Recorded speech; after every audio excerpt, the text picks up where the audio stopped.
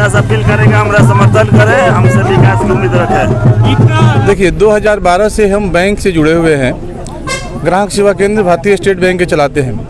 2012 से हम बैंक के माध्यम से जुड़कर हर वर्ग के लोगों का सेवा कर रहे हैं। चाहे वो वृद्धा पेंशन हो, इंदिरा आवास हो, या उज्ज्वला गैस योजना हो, हर योजना में हम बैंक के माध्यम से लोगों का सेवा करते हैं तो हमको ये कहना नहीं है कि हम विकास करेंगे क्योंकि हम पहले से ये कार्य 2012 से ही कर रहे हैं। फिर हमरा ये लोग के लाभ से हमरा लाभ बा ये लोग के कर्ता से हमरा कर्ता मेरे पंचायत का प्रोफ़ाइल खोल के दीजिएगा देखिएगा तो मेरे पंचायत का आपको विकास दिखेगा। मेरा पंचायत विकास के मामले में सिवान जिला में एक नंबर रहा है और अब की भी जो भी सरकार के गाइडलाइन के अनुसार एक नंबर में रहेगा। चलिए आपके पंचायत मैं पंचायत जलालपुर से मुखिया पद के लिए मैं अपना वाइफ बबीता देवी का।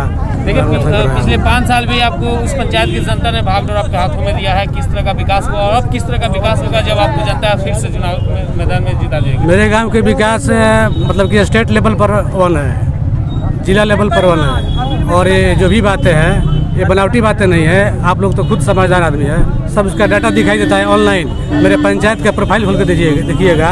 तो मेरे पंचायत का आपको विकास दिखेगा। मेरा पंचायत विकास के मामले में सिवान जिला में एक नंबर रहा है और अब की भी जो भी सरकार के गाइडलाइन के अनुसार एक नंबर में रहेगा। चलिए आपके पंचायत में इस बार प्रत्याशियों की जो संख्या है कहीं ना कहीं ज़्यादा है। तो क्या लग रहा है इस बार लड़ाई कितना टॉप मानते हैं? मेरे पंचायत में पिछले साल दस आदमी प्रत्याशी थे। अब फिर मात्र सात आदमी प्रत्याशी हैं। तो संख्या बढ़ा नहीं है संख्या कम है। लड़ाई कितना जो भी लोग चुनाव जो लोग नहीं लड़ रहे हैं वो हमारे समर्थन में चुनाव नहीं लड़ रहे हैं। चलिए अगर फिर से आपके हाथों में जनता ने भाग दौड़ दिया आपके पंचायत में तो क्या लग रहा है कि निर्मल ग्राम पंचायत बनेगा चला बिल्कुल बनेगा। बिल्कुल निर्मल ग्राम पंचायत बनेगा और आदर्श ग्राम पंचायत का दर्जा हमको मिलेगा मुझे उम्मीद है। आगे जो भी बड़े पदाधिकारी लोग हैं उनसे उम्मीद है कि हमारे पंचायत का आदर्श ग्राम पंचायत का दर्जा मिले। क्या अपील करिएगा जनता से? मैं जनता से हाथ जोड़ के अपील करता हूँ प्रार्थना करता हूँ कि जिस विश्वास पर जिस विश्वास पर उम्मीद करके मेरी पत्नी बबीता देवी को मुखिया बना करके 2016 में जो भेजने का कार्य किया गया मैं उसका आभारी हूँ और प्रणाम करता हूँ और फिर अपील अपील भी करता हूँ कि 2021 के भी चुनाव में मेरी पत्नी बबीता देवी को चुना कर चुनाव जिता करके और ये लोग भेजें मुखिया बना करके भेजें हम गाँव के लोग हमरा के जौन चीज़ अथी देले बा अपन बेटी के बहन के सबके अथी पर वही ने हमरा कब फिरो दे इतना जनसलाब बा इतना लोग बा फ़ैन से क्या हाँ, लगता फिर- हमरा ये लोग के लाभ से हमरा लाभ बा आ ये लोग के कर्ता से हमरा कर्ता बबीता देवी जिंदाबाद! बबीता देवी जिंदाबाद! की साथ है? क्या लग रहा है? एक तरफा हम लोग साथ हैं। एक तरफा हम लोग साथ हैं और हम लोग का जीत होगा इसमें कोई शक नहीं है। मुखिया मिला है और भगवान से दुआ यही करते हैं कि फिर यही बने अगला पाँच साल भी बने। हाँ। ये हम लोग का मुद्दा क्या है?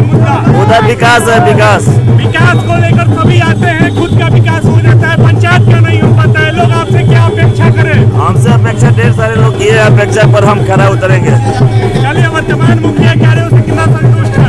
अब कार्य का संतुष्टि तो पब्लिक बताएगी। जीतने के बाद सबसे पहला काम क्या होगा पंचायत में? सबसे पहला काम शिक्षा पर ध्यान दिया जाएगा। चलिए क्या अपील करना चाहेंगे पंचायत के लोगों जनता से अपील करेंगे हमारा समर्थन करे हमसे विकास की उम्मीद रखें। इतना लगभग 2000 से अधिक समर्थन आए हैं आपके साथ। ये सारे पैसे पे आए हैं या आपके मन से आए हैं? अपने मन से सारे लोग आए हैं।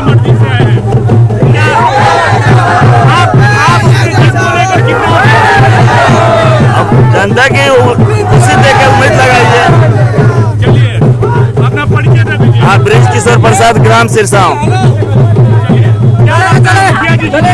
ज़रूर विकास होगा विकास होगा।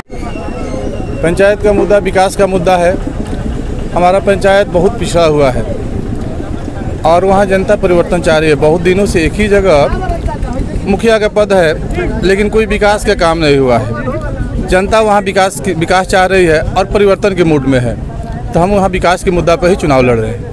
ऐसे में तमाम प्रत्याशी वादे करते हैं कि हम विकास के मुद्दे पे ही चुनाव लड़ेंगे, लेकिन जीत जाने के बाद तमाम वादे को भूल जाते हैं, जनता परिमाम कर हो जाती है। क्या आप उस वादे पर कितना खड़ा उतरिएगा देखिए 2012 से हम बैंक से जुड़े हुए हैं। ग्राहक सेवा केंद्र भारतीय स्टेट बैंक के चलाते हैं। 2012 से हम बैंक के माध्यम से जुड़कर हर वर्ग के लोगों का सेवा कर रहे हैं। चाहे वो वृद्धा पेंशन हो, इंदिरा आवास हो, या उज्ज्वला गैस योजना हो, हर योजना में हम बैंक के माध्यम से लोगों का सेवा करते हैं तो हमको ये कहना नहीं है कि हम विकास करेंगे क्योंकि हम पहले से ये कार्य 2012 से ही कर रहे हैं कितना मानते हैं इस बार? जी देखिए वैसे तो परिवर्तन के मूड है लड़ाई तो कोई है नहीं लेकिन जब तक लड़ाई नहीं होगा तब तक कोई आनंद नहीं आता है। लड़ाई के साथ ही आनंद आता है तो परिवर्तन तो होगा लेकिन लड़ाई के साथ ही होगा। आप अपने जीत को लेकर कितना हैं? पूर्ण रूप से अस्वस्थ है। ये जनता बता रही है कि हम जीत रहे हैं। ये हम नहीं कर रहे हैं। जनता से भी पूछ लीजिएगा जनता भी आपको बताएगी। क्या अपील करिएगा जनता से? जनता से ये अपील करेंगे कि हम जो जितना स्वच्छ है वैसा ही अपने पंचायत को स्वच्छ और निर्भीक बनाकर रखेंगे। भ्रष्टाचार को नहीं बढ़ने देंगे। पहली बार चुनाव लड़ रहे हैं। जी।